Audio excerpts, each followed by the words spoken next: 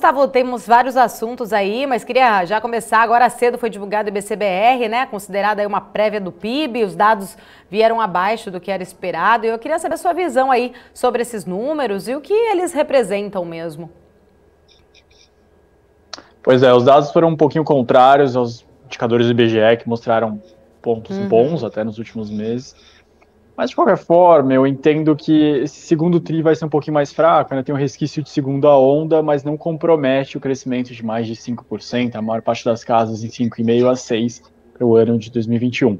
Eu imagino que isso pode ter alguma um peso maior, talvez ninguém está esperando que o Banco Central não suba tanto assim juros na próxima reunião, que não aumente o ritmo de 0,75 para 1, porque eu digo isso? Porque se você está com uma atividade mais fraca, você tem menos pressão inflacionária, que é o grande temor agora de todos. Mas de qualquer forma, assim, sinal de alerta, todo mundo tem que ficar prestando atenção, acho que é relevante.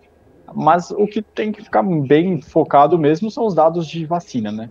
E o ponto bom agora para brasileiro é que o que eu estava olhando, estudando esses últimos dias, é que você compara as faixas que já finalizaram, acima de 90 anos, 90 80, 80 70, e deu praticamente 89, 90% da população nessa faixa etária tomando as vacinas, o que é bem interessante, considerando que lá no exterior a gente está vendo problemas nos Estados Unidos, na Europa, onde uma parte bem relevante da população não está se vacinando, o que está surgindo então novos casos crescendo mais rápido.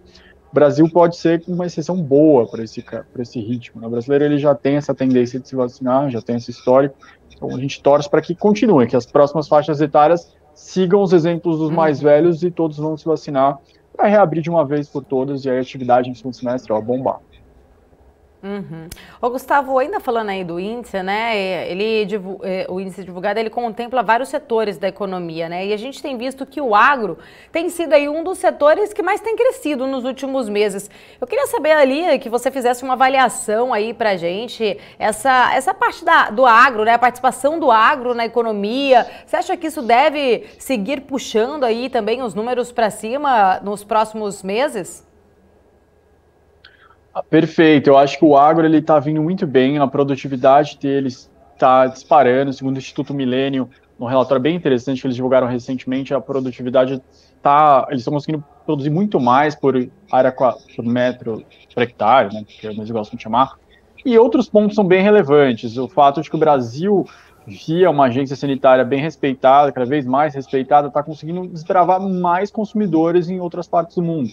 Acho que o exemplo do Sudeste Asiático, além da própria China, são pontos muito bons, assim, pensando no futuro do agronegócio, dado de que a gente vai conseguir exportar mais e mais, economia abrindo mais ainda para esses países, e tem toda a questão de cultura também, né? A gente começa a enviar os produtos, ainda são poucos consumidores, ainda não estão familiarizados com o produto. O próprio açúcar, que é algo bem específico ainda para o Ocidente, o Oriente está conhecendo, e a tendência, segundo a FAO também, é que você tenha esse crescimento nesse tipo de consumo nos próximos anos. Então, o agro deve continuar bombando. Acho que essa, essa nova geração de que está assumindo agora o agro, que está associando com tecnologia também, está trazendo um baita boom para a produtividade, junto com o mercado que está favorável.